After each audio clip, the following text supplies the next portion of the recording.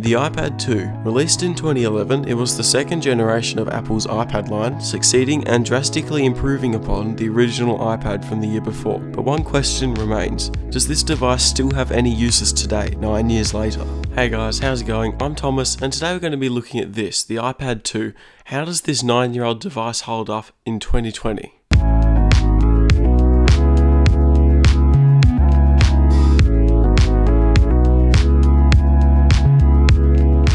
The iPad 2 was released in March of 2011 as a replacement to the original iPad. While the first generation was incredible for the time and holds significance to this day for revolutionizing the tablet industry, the iPad 2 retained what the original iPad introduced and added even more features to make it even better. The iPad 2 brought a completely new design over its predecessor while still using aluminium for the build. It has a completely flat back with curved metal edges that meet the front glass, and this curve is what gives it an illusion of being thinner than it really is. Speaking of which, the iPad 2 2 has a thickness of 8.8mm and weighs 600 grams, and while it is far from being the thinnest or lightest iPad, it still looked sleek and modern back in 2011, which is what mattered. The design was so good in fact that it was reused, twice, with the iPad 3 and 4, both released the following year. The iPad 2 came in two colours, white and black, the only difference between the two being the colour of the very thick glass bezels surrounding the display. Also, it's worth mentioning that the iPad 2 came in two models, Wi-Fi only and Wi-Fi plus cellular, which can connect to 3G networks with a SIM card. The cellular model also included a black antenna strip on the back of the device, so it's easy to identify. The iPad 2 features a 9.7 inch display, which was the standard size all the way up to and including the 6th generation generation iPad from 2018. The display size is still pretty acceptable today, however the quality of the display itself isn't. It features a resolution of 1024 by 768 with a pixel density of 132 pixels per inch. Unfortunately this is not one of Apple's finest displays, rather it is one of their worst. Pictures and text tend to look very blurry and pixelated and can be hard on the eyes to look at after a while. To be fair, this was only less than a year after the Retina display debuted on the iPhone 4,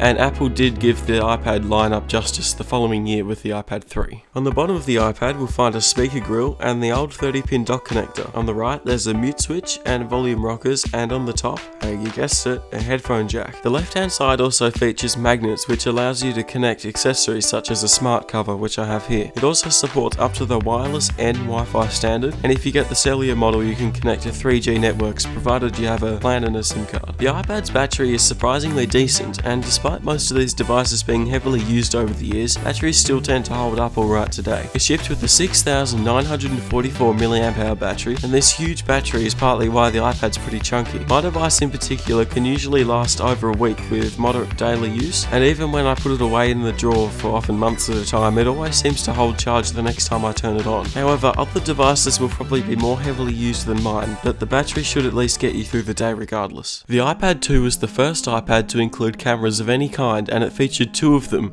if you can even call them cameras. The rear camera takes 0.7 megapixel photos and records video in what Apple claims is 720p. Photos and videos look absolutely garbage, and even in bright outdoor locations, photos are a grainy horrible mess. Videos look horrible too, and I don't understand how Apple had the nerve to call it high definition. The front facing camera is even worse. It takes 0.3 megapixel photos and records VGA quality video, aka 480p. I love it how Apple didn't even bother giving it any fancy names to make it sound better than it really is. However, unlike the rear camera, the front-facing camera was relatively new for the time, being introduced less than a year previously on the iPhone 4, and all it was intended for was FaceTime, which is about all you should really be using it for anyway. On the other hand, I think the rear camera should have received a 3 megapixel sensor from the iPhone 3GS at the very least, or even better, the 5 megapixel camera from the iPhone 4. Then again, iPads aren't really meant for taking photos anyway, as you not only look stupid doing so, but most people have smartphones on on them at all times that they can use to take photos instead. And why would you carry your iPad around everywhere you went when you could just use your phone? The iPad 2 features Apple's dual-core A5 chip and 512 megabytes of RAM, pretty much the same as the iPhone 4S, the original iPad mini and the iPod Touch 5. It was the first device to utilize the A5 and it claimed to have twice the processing power and up to 9 times faster graphics performance over the A4 chip. While this was one of the fastest and most powerful devices on the market back in 2011, it doesn't come come close to the capabilities of modern iPads and iPhones, and using it you can definitely feel its age. The iPad's speed, or more fittingly, lack of speed, is thanks to it running a reasonably modern version of iOS. Speaking of software, the iPad 2 runs up to iOS 9, which runs, well, horribly would be an understatement. Apple effectively ruined it, as well as other devices with the A5 chip, including the iPhone 4S, and these devices should have been left to die in peace on iOS 8, where they were slow enough already. While it runs extremely slowly, it is actually somewhat